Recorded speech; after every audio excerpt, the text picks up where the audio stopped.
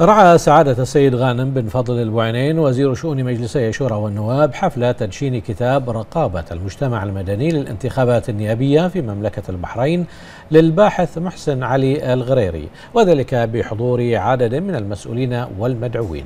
وأشاد وزير شؤون مجلسي الشورى والنواب بمحتوى الكتاب وأهميته التي ستضيف إلى المكتبة الوطنية. كونه سيعد مرجعا لكل باحث في الشؤون الانتخابية ولكل مراقب من مؤسسات المجتمع المدني منوها بأهمية تشجيع المؤلفين الشباب الذين يرفضون الحركة الثقافية والأدبية في المملكة.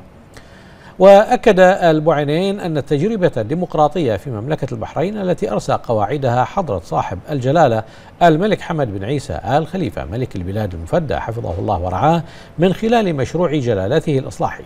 قد نقلت المملكة نقلات نوعية على المستويات المختلفة وبالأخص المستويين السياسي والقانوني عبر التجربة التصاعدية التي زادت من خلالها الخبرات لتصبح أكثر نضجا.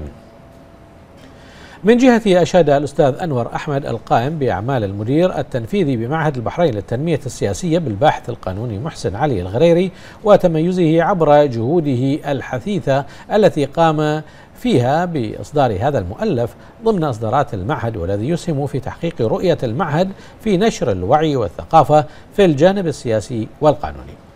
وأشار الغريري إلى أبرز ما تضمنه الكتاب الذي يتكون من أربعة فصول والمتمثلة في دراسة ماهية مؤسسات المجتمع المدني وأهميتها وتصنيفاتها في البحرين والإطار التشريعي المنظم لعملها مرورا بالتشريعات الانتخابية منذ انتخابات عام 1973 حتى مرحلة ما بعد ميثاق العمل الوطني.